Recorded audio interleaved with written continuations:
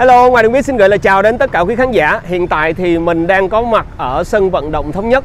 Vào chiều ngày mai thì câu lạc bộ Thành phố Hồ Chí Minh sẽ có trận đấu dự báo khó khăn gặp câu lạc bộ Hồng Lĩnh Hà Tĩnh. Hiện tại thì xung quanh đây không khí khá là yên ắng.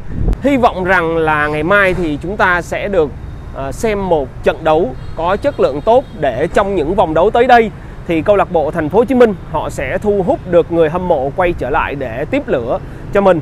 Dự báo là câu lạc bộ Thành phố Hồ Chí Minh chắc chắn là sẽ còn gặp rất là nhiều khó khăn.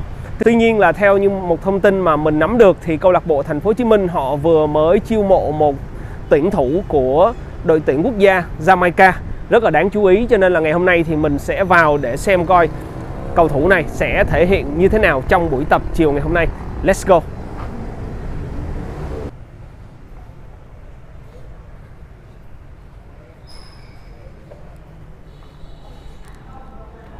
Thông báo là 16 giờ. Tuy nhiên là ngay thời điểm này thì các thành viên của câu lạc bộ Thành phố Hồ Chí Minh thì họ cũng đã ờ, ra sân để tập luyện rồi. Tập rất là sớm.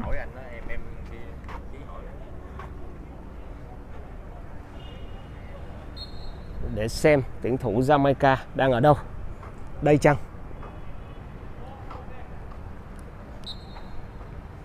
Có lẽ đây là cầu thủ tân binh của câu lạc bộ Thành phố Hồ Chí Minh chăng?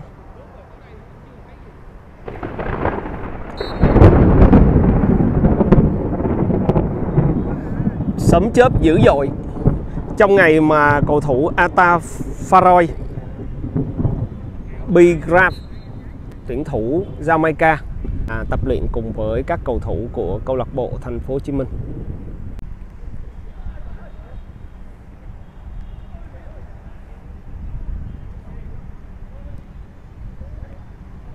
Trận đấu ngày mai sẽ là một trận đấu dự báo rất khó khăn dành cho huấn luyện viên Trần Minh Chiến.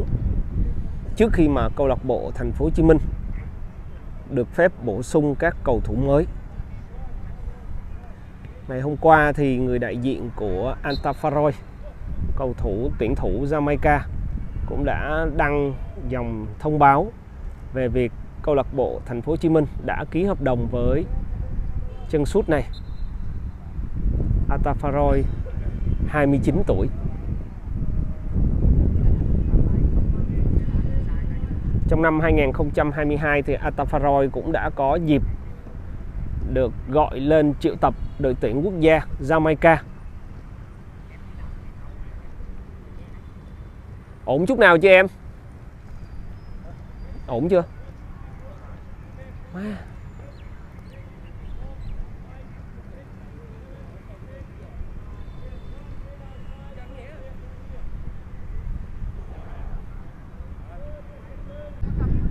Bên cạnh tân binh Atafaroy tuyển thủ Jamaica, thì theo như quan sát ngay trên sân, mình thấy có thêm một số các cầu thủ ngoại khác cũng đang thử việc. Chẳng hạn như là cầu thủ đang đứng ngay bên cạnh Hoàng Vũ Samson, cũng là một cầu thủ đang thử việc ở câu lạc bộ Thành phố Hồ Chí Minh cho đến thời điểm này. Sắp tới thì huấn luyện viên Trần Minh Chiến chắc chắn là sẽ có những sự thay đổi từ cầu thủ ngoại cho đến những cầu thủ nội có thể sẽ có những sự tăng cường tiếp theo.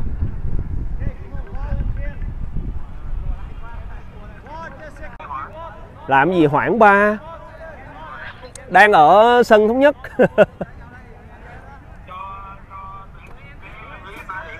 vía 3 điểm phải không? Ok chúc uh, hải phòng 3 điểm. Yên tâm luôn. Hả?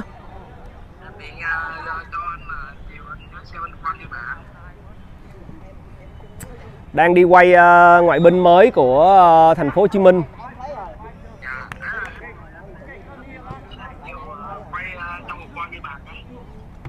Hôm nay Châu Ngọc Quang ghi bàn không em? Hay là dụng quang nho ghi bàn? Thôi ráng đi. Rồi trận này phải có điểm. Cố lên thôi. À, cuối tuần anh mới đi. Trận này anh không có làm. Trận này làm thành phố 19 tháng 8 ờ ờ ờ ờ ờ có lý có lý. Được được được. Ok ok. À, ok. Thôi thôi ngồi đi nha. Anh quay nốt ờ, xong cái sắp mưa rồi. Ok ok.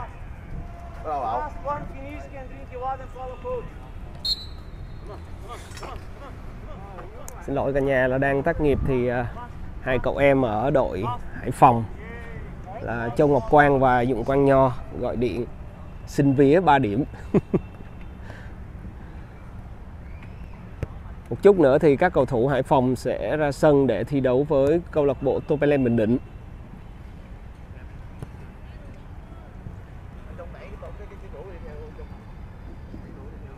Một chút nữa thì chúng ta sẽ xem tân binh của câu lạc bộ Thành phố Hồ Chí Minh sẽ thể hiện như thế nào.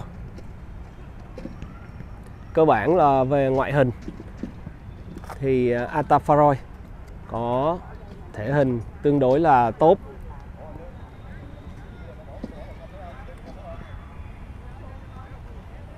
Bây giờ là xem kỹ năng chơi bóng mà thôi.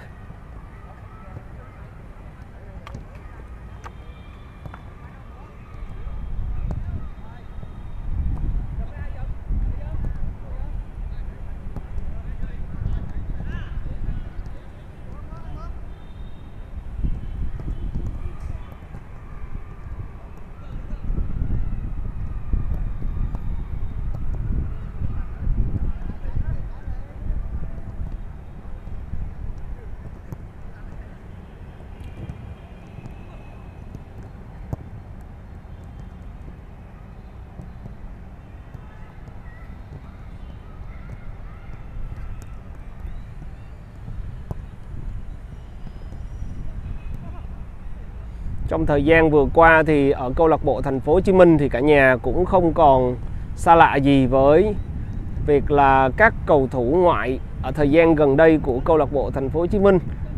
Thì, thi đấu không tốt ngay cả với cái tên Hoàng Vũ Samson. Mặc dù Hoàng Vũ Samson cũng đã có bàn thắng cho câu lạc bộ Thành phố Hồ Chí Minh ở thời điểm này. Tuy nhiên là xét về phong độ cũng như là về việc gánh tim thì ở thời điểm này Hoàng Vũ Samson chưa đáp ứng được sự kỳ vọng của người hâm mộ câu lạc bộ thành phố.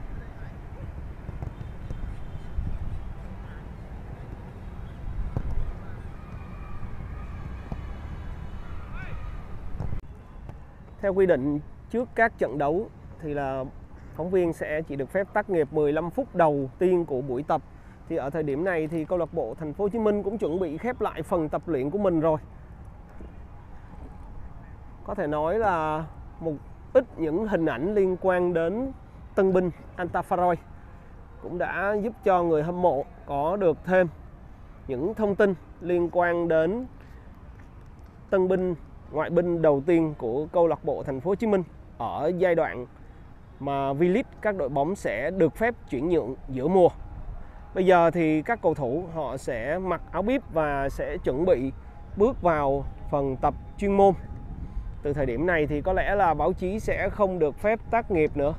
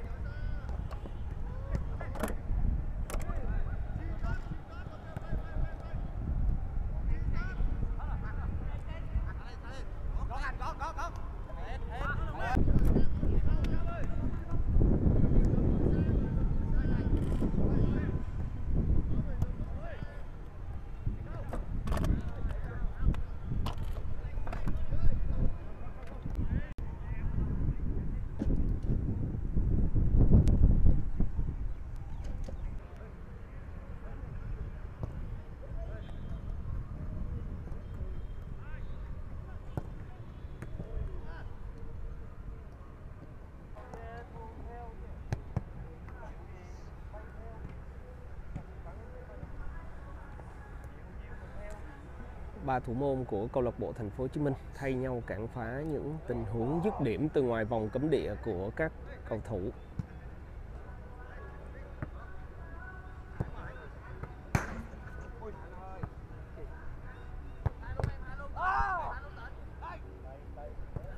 Xong rồi.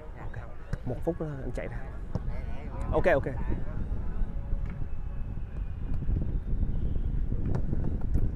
Ui trời ơi. Cho bắt cạnh.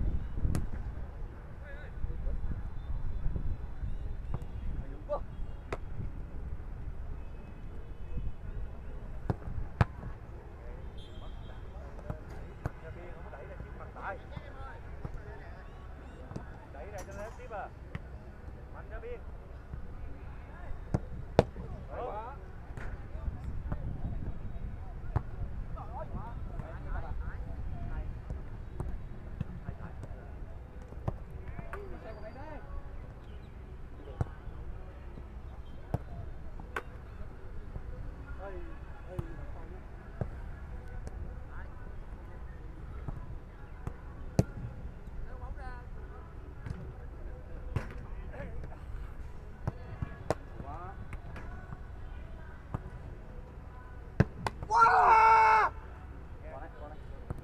Ủa, cái người là mình thua á. Ủa, người bị thua chứ mày ngang cái người đâu thua. Ngang cái người là nó trúng cái bụng mày rồi.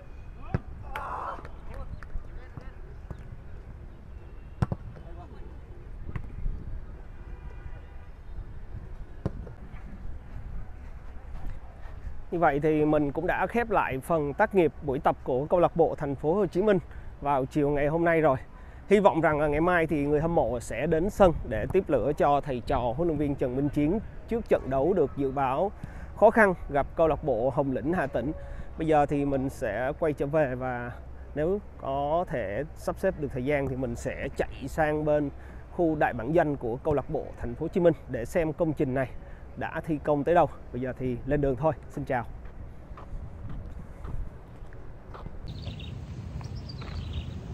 Hello cả nhà, như vậy là mình đang có mặt ở trước đại bản doanh của câu lạc bộ Thành phố Hồ Chí Minh.